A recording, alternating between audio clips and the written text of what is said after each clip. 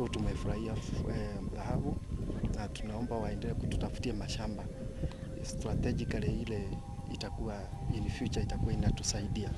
Eh, tumefurahia siku hii ya leo, tuko hapa Naibon hapa Nanyuki, na kama mnajua Nanyuki ndio ndio kila kitu iko na wanajeshi iko na oh, oh, vikosi zote za serikali ziko wapi? Ziko huku Nanyuki.